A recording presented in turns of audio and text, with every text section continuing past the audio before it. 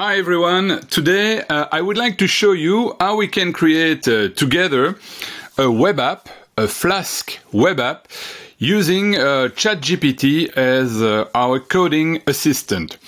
And before we dive into um, uh, the code of a, of a very simple web app, I would like to show you the web app that I created uh, using the power of ChatGPT as my personal coding assistant. So I call it the AI Jingle Maker, which you can find at aijinglemaker.com.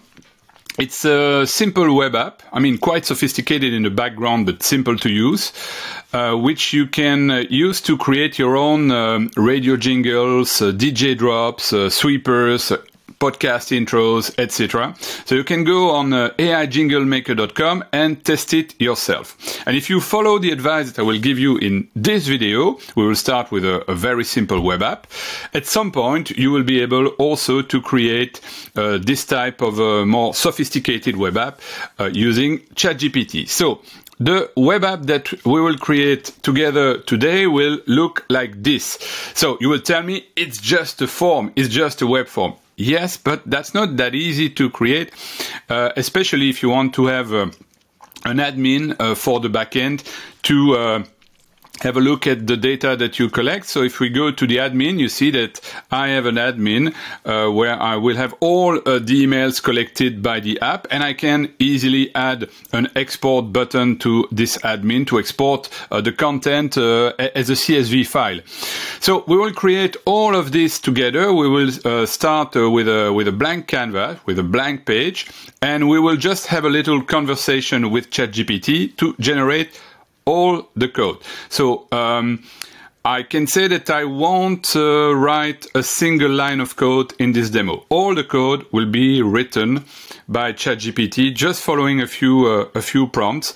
There might be some mistakes, some errors, some bugs along the way, and we will fix them uh, together with ChatGPT. So let me minimize this uh, video first and go to uh, the environment where we will code uh, the app so we will use uh, Replit.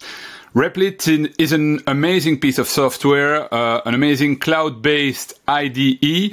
Uh, so that's a place where you can uh, uh write your code and also deploy your apps. Uh, you can start for free on replit.com. So just go there and create what we call a REPL. A REPL is a workspace uh, on Replit. So we will start by creating a REPL here and we will choose Python because um, Flask is a micro uh, web framework uh, for Python. So if you know how to code uh, in Python, which is uh, usually pretty straightforward, you will uh, very easily know how to uh, create a web app using Flask. So we will just give it a name like today's demo and we will keep it private. You can also uh, switch to public if you want to share uh, your um, creation with the world. And the cool thing with Replit is that even if you are in private mode, you can privately invite your coworkers or uh, some users to test the app uh, before you release it and before you even deploy it uh, using uh, using Replit. So let's create um, this REPL. So by default, it will obviously be completely empty. There will be uh, a root file called main.py, main.python. Uh, so it's a Python file. It's completely empty at the moment. And uh, if we want to create uh, a Flask web app, we need to give it a, a, specific structure. So we need to add two folders. The first folder uh, we need to add here at the root of the project is uh, the templates folder. Uh, it's important to call it templates and not template. And then we will add a first uh, HTML file there. So we will call it index.html, like this. Later, we will also add the admin.html. And we will also add another template, uh, another sorry folder at the root uh, of the of the project. So to go back to the root, you just click on, on main.py, and we add another folder called static, like this. And in this folder, we can add, for instance, some images or, or some other files like uh, the CSS file or the JS, the JavaScript file. So we will just add a CSS file, styles.css, which we will use in a moment. So we have main.py, we have the index.html, and we have styles.css. So now we're ready to go, but it's still empty. So we need to fill it out with some code. And that's uh, what we're going to do together with our friend, our dear friend, ChatGPT. So as you can see, I'm a ChatGPT Plus subscriber, so I can use GPT-4, but you can also use GPT 3.5 for a Flask web app. It will work. Uh, and uh, yeah, that would be uh, pretty easy also to do in GPT 3.5. But let's use GPT-4. And uh, I rehearsed a bit uh, this demo uh, beforehand, so uh, I prepared a few uh, a few prompts. So we will start with a prompt. Um, asking uh, ChatGPT to give us the boilerplate of a Flask web app, so the starting point of a Flask web app, um, the, the skeleton of the app, uh, with one page, index.html, that we need to render, and a form with two fields. If you remember, we had two fields here, so let's go back here, the name field and the email uh, field and we want to store the data in uh, in an SQLite database uh, using SQLite 3, which is a, package uh, inside uh, of Python. And uh, we will also have to tell ChatGPT to bear in mind that we're using Replit. So we need a, a specific type of structure at the end of of the main.py file. So I have my prompt ready with everything that I've just told you, and I will just copy it from another screen and come back to ChatGPT. So we will see in real time what ChatGPT will do. And I will just adapt it here because um, I would just want to give it a specific name to the database, database.db. Okay, so let's just hit enter and let's see what ChatGPT uh, comes with. So as you can see, uh, ChatGPT uh, also suggested the same kind of structure that we implemented together. So the templates folder with the index.html inside of it. And uh, the database.db, we don't have to create it um, before uh, starting this code because it will be uh, created uh, by um, by the code right here, okay? Uh, and um, and also the table, the first table inside of the, the database, so the, the users table will be uh, created by the code when it will be first initiated. And the code that we have here also contains two lines of import. So we will have to use the Flask package and a few modules from Flask, probably uh, some other modules uh, later on. We also import SQLite 3 for the, the database uh, management. Then we will initiate the database, create the table, and then uh, we will have the first route. So this route, uh, which can be accessed via GET or POST queries, is the route for the index page. So as you can see in the end, we render the HTML template index.html. So on this page, we will have the two fields for the form, name and e email. So when we retrieve the data, when it's a post query, we retrieve the name, we retrieve the email.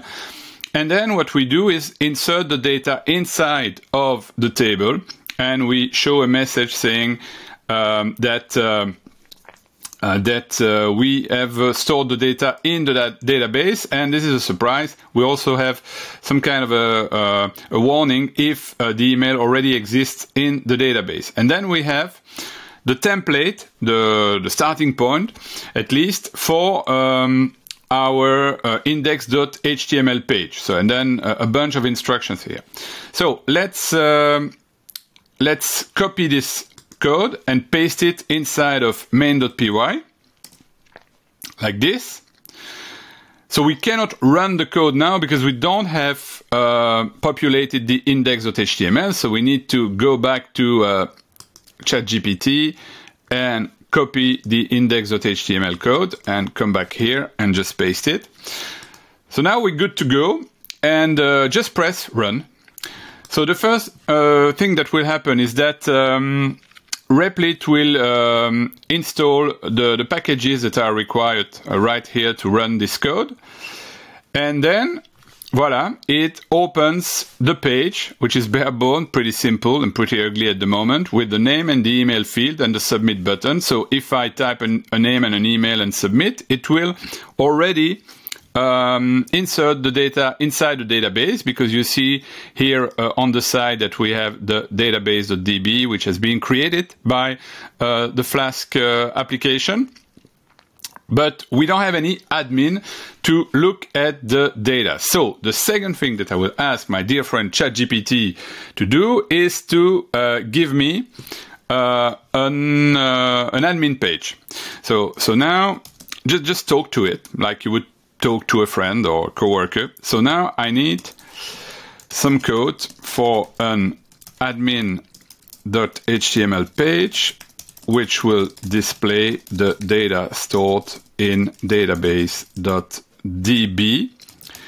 with a back button to the um, index page. And also, uh, we'll do it straight away. Uh, I had uh, actually um, thought about doing it later in uh, the session, but do it, we'll do it straight away. And also an export button to export the content of the table as a CSV file. So I need um, the Flask routes because we need other routes in the Flask um, in the Flask application to handle the admin page and also to handle the export uh, SCSV. So I need the Flask routes and the uh, the HTML code for admin.html. Okay, boom. So we hit enter. And this thing understands straight away what it has to do. So um, as you can see, we have to import a new um, a new package CSV. Uh, so we first do that here at the top for the imports. And I think that probably we also need some other stuff uh, from Flask because we need res response here. So the easiest thing to do maybe is just copy, paste, you know, just replace the old import section. So you see here, here we have a response, which we will use for uh, uh, the, um, the CSV download. And then we have uh, the app route uh, for uh, the admin page. That's perfect. So let's let's just put this here before the end. Okay. That's just the closing here of the Flask uh, application. Uh, it actually runs uh, the application on the port 8080 in Replit. So that's why actually I, I asked ChatGPT to give me a code which was adapted to Replit. Otherwise, I could have had a default code which uh, can run locally on another port, but uh, Replit uh, uses this one. So okay, so that's why we had this um, uh, this little comment here uh, from uh, ChatGPT. And we have another route uh, which doesn't really lead to a page, uh, but uh, it's a function uh, to export uh, the data as a CSV. So we would just do this. And uh, yeah, we can paste it here. Okay.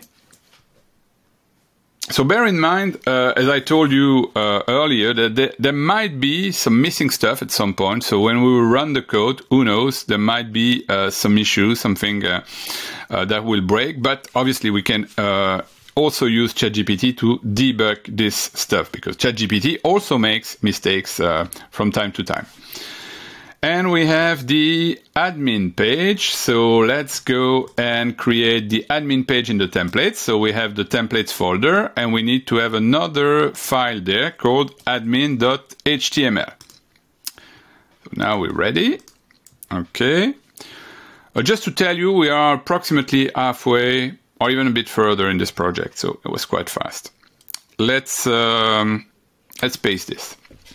Okay, so now I can rerun all of this.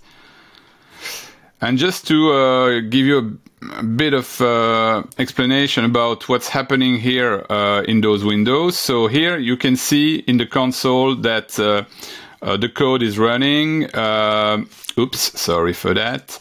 Um, nothing, nothing special. Just you know, 200 responses. So everything is working fine. And we have here our uh, form, bare bones still. We, we, had some styling in a moment. And uh, I can also open it here. So I can just go there. If you see it, open in a new tab. So we open it in a new tab. That's actually what I did with the example that I gave you earlier.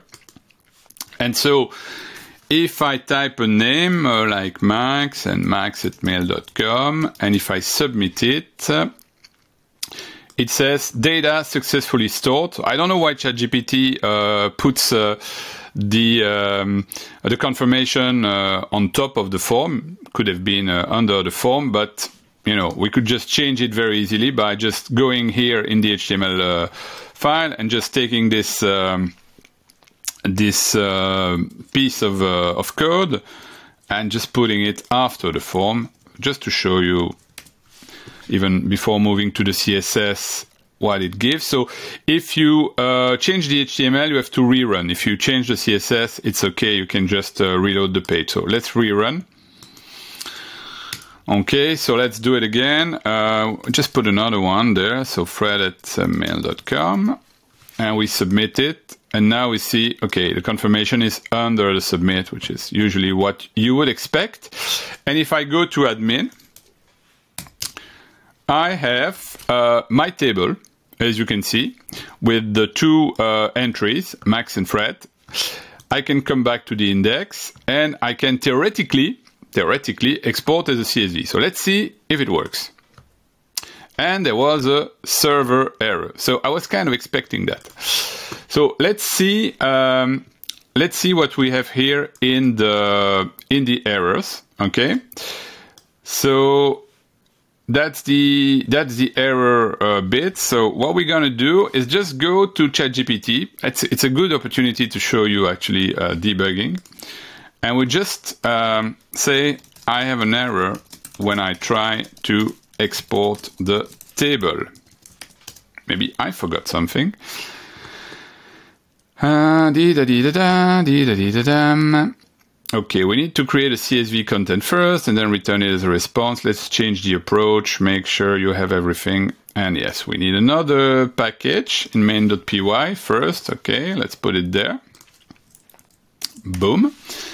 And uh, sorry, that was the error. So here, and we will change the route uh, for the export. So we come back here and we have this route that it gave us for the export and we will just remove it change it, and run it again. Might still be another bug, but uh, our friend ChatGPT will then help us uh, debug it. So let's uh, do it again. So let's open this and go to the admin, and we still have the two entries that we had, and we can export the CSV and, and see what happens. And now we have the CSV. So now if I uh, save my CSV, it's called data, okay and I just um, open this CSV and I will show you that we have the content of the CSV here, so the content of the table. So everything is working. Okay, so we are 18 minutes uh, in this live tutorial. Uh, we will now try to skin all of this and give it a, a nice look. Okay, so let's say everything is working let's move now to some styling. I want to use uh, material design uh, to uh, to give a fresh look to both um, index.html and admin.html. Uh, please refactor the code for me.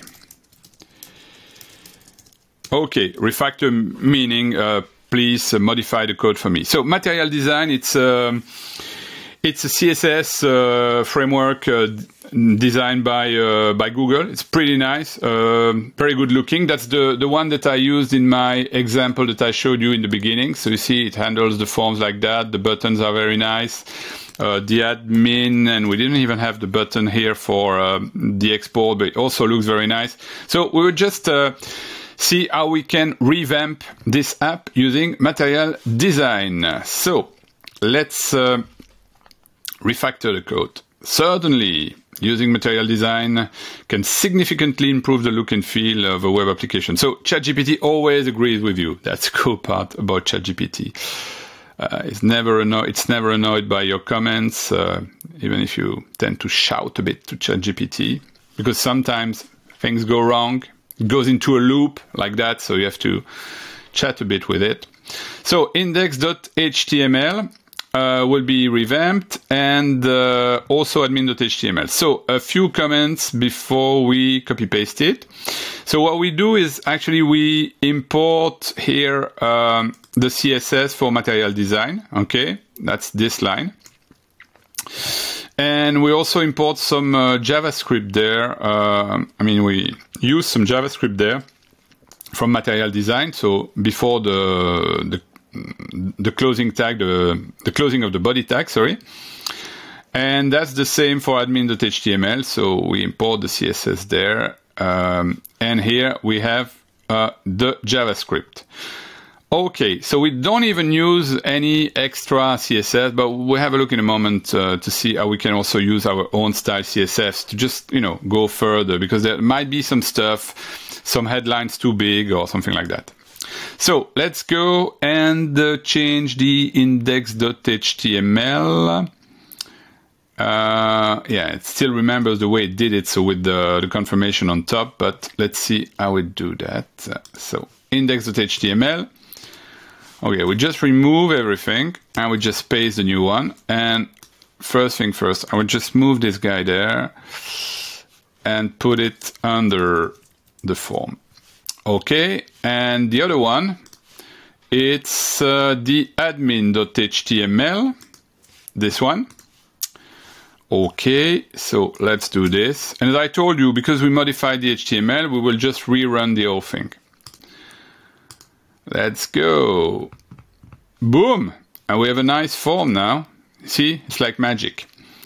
Uh, let's uh, open this. Okay, so it's a bit too wide, but uh, we can change this in a moment. So now if I do um, Elise, Elise at mail.com, and I just submit it, I'm just wondering how the confirmation will appear.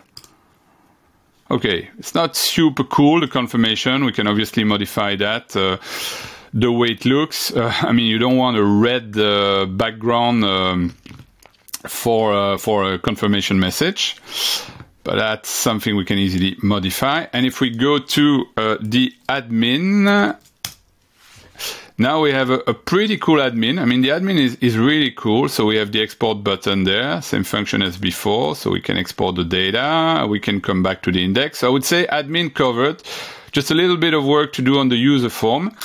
Uh, maybe first change the, the, the, title of this. So that's our previous example. Um, what did we write uh, in my first example? Ah, yes, sign up to our newsletter. So let's uh, first, yeah, here, find the title. So sign up to our newsletter. That would be better. And uh, yeah, so here we have uh, UL class red, uh, blah blah blah. So probably if we change this in green, that would be better. Um, and uh, yes, we could also have uh, call it confirmation. So now here we need to add our own uh, styling CSS if we want to add other classes like this confirmation, which is not uh, directly supported by uh, material design. So the way we're going to do this is we're going to link our um, styles.css to uh, the um, the index.html. So in the head section, where we have this um,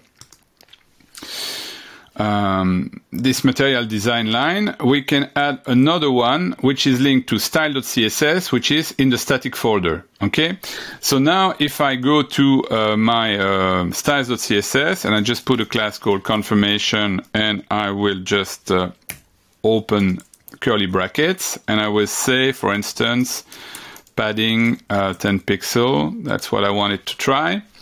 Now if I rerun everything, so first of all, if it's dangerous here, it's not dangerous, just go there, uh, say that, that the site is legitimate and the padlock will turn to black. It's perfect. So let's reload this and say, for instance, Um, testing, testing at mail.com. We submit it. And now, as you can see, we have a nice padding around the, the confirmation. And if I reload it, obviously the confirmation will disappear. And if I go to the admin, I have all of my tests uh, in the admin and I can export my CSV and I come back to the index. So there's maybe one thing left here is that you don't want the admin to be just accessible at slash admin to anyone. So you want a, a password uh, for this admin. So we go to um, our friend ChatGPT and say, okay, one last thing. I would like uh, to restrict uh, access uh, to um, the admin page via a simple uh, password. And um, I already used a, a method uh, for that, um, which was uh, using a method called uh, um, Flask uh, HTTP auth. So I will just uh, ask uh, ChatGPT to do it again with that. One last thing I would like to restrict the access to the admin page using this. So ChatGPT will give us the code. So first of all, we need to import the package. So we will just do this at the top of our main.py, py, sorry, like this. And this is just to activate it. And then we will have um, a function to uh, verify uh, this uh, this password. So yeah, we, we just have a bunch of comments there, but let's just grab what's uh, useful for us. So let's just go there and just put this at the top before the route, before the DB initialization. So you don't need obviously uh, all of those comments, but it's nice to document your code. It's uh, offered, kindly offered by ChatGPT. And uh, here we have your password. We just change it to my pass123, very bad password, but just for the sake of the demo. And we need to add uh, some uh, decoration, as it's called by, um, by Flask uh, between the app route declaration and the uh, the admin.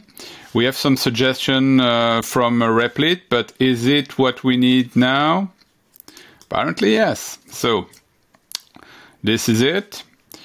Um, and uh, so let's come back here and add this line. Okay, so we need to be authenticated to access the admin page. And we have a last bit here, which is um, Yes, just a customization of the error message if there is an uh, error. Okay. Okay. Let's uh, let's just also copy paste this at the top before the routes. Uh, this handler. Here we go. So now we just reload everything.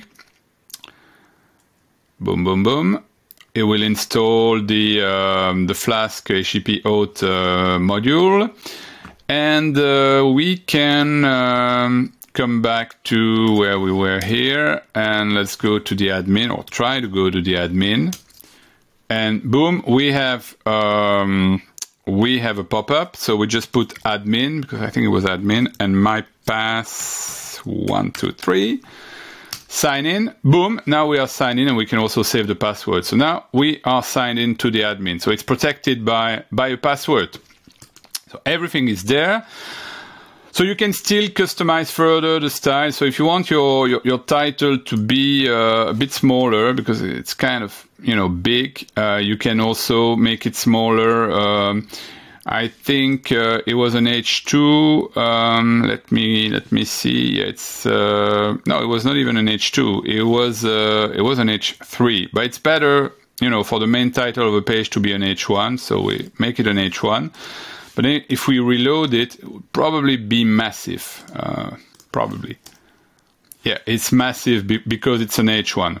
So what we can do very easily in the styles, we can just say, okay, it's an H1 uh, headline, we just open the curly bracket and we say font size, uh, and we just say 2em, for instance. And now Uh, so I haven't changed um, uh, the HTML, so I can probably just reload, yeah, reload the, the page. So now we have something which is uh, much more decent. You can obviously you can add your little emoji there, uh, as I did in my first example, but you get the idea. So uh, let's uh, recap. We have the main.py uh, file with all uh, the Python code for the Flask app um, properly configured to work here on Replit on the port 8080. We have inside of this a route for uh, the index page with both a get and a post uh, query approach. So post uh, when we uh, when we fill out the form and get to just open the page. We have the initialization of the DB. So we created the DB, we created the table if it didn't exist, uh, and then um, we just use the table. We have the app route with the login uh, required for the admin, and we have also the route for the export um, CSV button that we have in the admin. So everything is there, everything is ready. So if you just use this code that I will share uh, in the comments below, you can just clone it and you can just have your beautiful little form here. You could add some other fields, obviously, to the form. So you can add some other input fields, have three, four, five fields. You could even add, using material design, a selector with a drop down. And then you just modify what you fetch in terms of uh, data here uh, from the form to populate uh, the database. Obviously, then you would need to restart this and create new fields in your SQLite 3 database, but you get the point. So it's modular and it's the boilerplate, the starting point of a, of a Flask web app, which was created um, I would say in a few minutes because uh, it was longer uh, because I was explaining everything uh, while doing it, but it maybe took 15 minutes to create uh, the app itself using uh, ChatGPT, uh, a very simple conversation. I will also share uh, in the comments below the conversation I had with uh, ChatGPT. So that way you understand the, the concept uh, of the prompt and you can replicate this and create your own uh, your own applications. So I would be happy also to see. Um, the applications that you will create uh, using uh, ChatGPT uh, and and Replit. So if you create your own applications, share them in the comments below. obviously, give a like to this video, subscribe to the channel, and if you want any specific tutorial to create any kind of web app using Flask with ChatGPT, just let me know and I will uh, do it uh, in uh, one of the videos that I will create in the future.